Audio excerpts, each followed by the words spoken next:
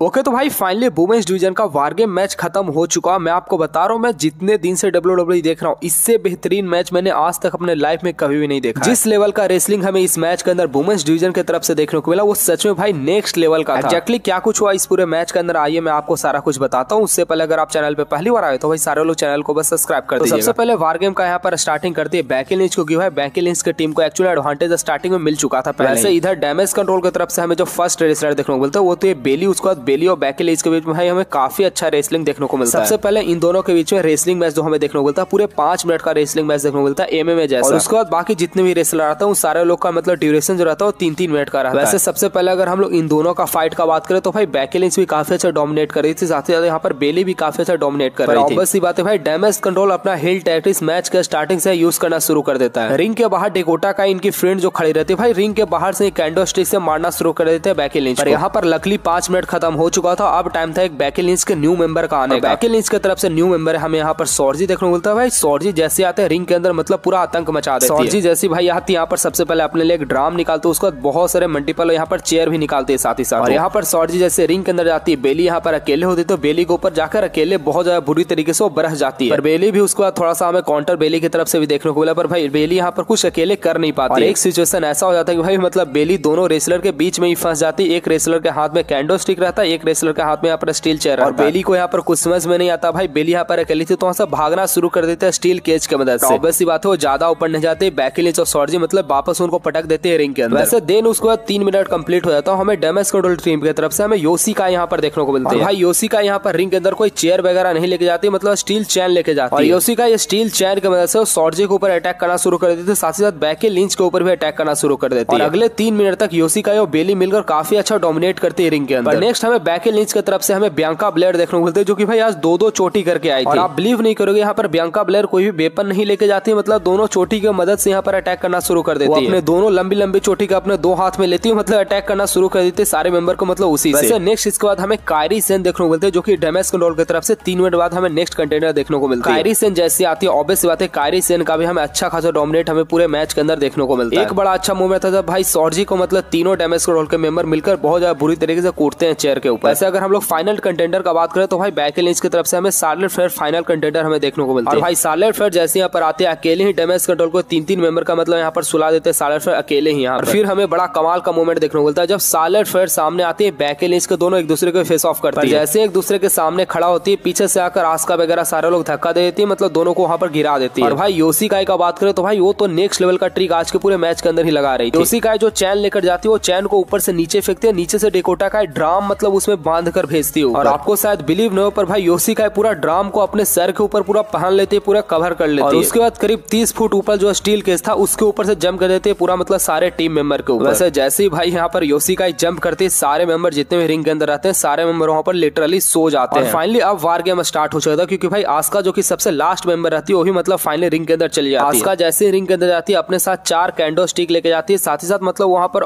एक CO two वाला cylinder भी लेकर जाती है रिंग के यहाँ पर डैमेज कंट्रोल के सारे मेंबर के हाथ में कैंडो स्टिक था यहाँ पर बाकी अपोजिट जो टीम था उसके पास कुछ भी नहीं था। इसको नेक्स्ट हमें डैमेज कंट्रोल की तरफ़ से एक बड़ा कमाल का मूवमेंट देखने को मिला। भाई जिसको देखने के बाद मुझे सच में घुसबम आ गया बैकी लिंच को ये सारे लोग चैन से बांधकर रिंग के बीच में बैठा देते भाई सारे मतलब चारों मेंबर एक ही साथ इनके ऊपर किक करते हैं। सारे लोग देख सकते हैं बैकी लिंच रिंग के अंदर और डैमेज कंट्रोल के चारों मेंबर इनके ऊपर मेरे ख्याल से ड्रॉप किक लगाते हैं। बहुत खतरनाक वाला हुआ भाई फाइनली अब मैच का एंड पॉइंट आ चुका था जहाँ मतलब डैमेज कंट्रोल ही ओवरऑल डोमिनेट कर रहे हैं जैसे साले फेयर को लोग सारे लोग ऊपर चढ़ाते यहाँ पर बैकी लिंच आकर सारे लोग को मतलब साइड करना शुरू कर देते सॉर्जी की मदद से। भाई फाइनली जो चीज़ हमें देखने को लग रहा था कि शायद से हो सकता पर भाई वो चीज़ होता नहीं। यहाँ पर सार्लेट फेयर और बैकिलिस दोनों गला मिल लेते इन दोनों के बीच में काफ़ी ज़्यादा चर्चा हो रहा था कि मतलब ये दोनों एक दूसरे के ऊपर अटैक न कर दे पर भाई ऐसा कोई भी अटैक देखने को नहीं मिलता। और ये दोनों साथ होती है उसके बाद सारे लोग ऊपर अटैक करना बुरी तरीके से शुरू कर देती है। इस मैच के अंदर हमें आस्का की तरफ़ से भाई हमें मिस्ट भी देखने को मिलता आस्का मिस्ट सॉर्जी के ऊपर पूरा फेंक देती है। मैच का अगर हम लोग इंडी का बात करें तो भाई यहाँ पर बली का बकड़ा मैं आपको जैसा की बताया था यहाँ पर बेली को ही बनना पड़ता सबसे पहले मैच का इंडिया में बियंका ब्लेयर अपना फिनिशर बेली को लगाते उसके बाद बैक के नीच भाई टॉप रोप ऊपर चढ़ जाती बेली को लेकर। टॉप रोप के ऊपर चढ़कर बैक के नीच अपना फिनिशर बेली को लगाए थे जिसके कारण इस मैच के अंदर हार हो जाता है डैमेज कंट्रोल अगर आपको याद होगा तो भाई मैं आपको पहले प्रोडिक्शन में इस बात को बता दिया था कि भाई इस मैच के अंदर सालर फेयर का टीम का जीतने का काफ़ी हाई चांसेस है। क्योंकि भाई अब यहाँ से सारा चीज़ चेंज होगा बेली को एक्चुअली डैमेज कंट्रोल से बाहर निकाला जाए ऐसे भाई मुझे भाई ये मैच काफ़ी पसंद आया। आप लोग सारे लोग को कैसा लगा सारे लोग ज़रूर से कमेंट सेक्शन में बता सकते और हाँ सारे लोग ज़रूर से सब्सक्राइब कर लीजिएगा। सबसे पहले अपडेट हमारे चैनल के ऊपर पाने के लिए जिन लोगों को बात करना है।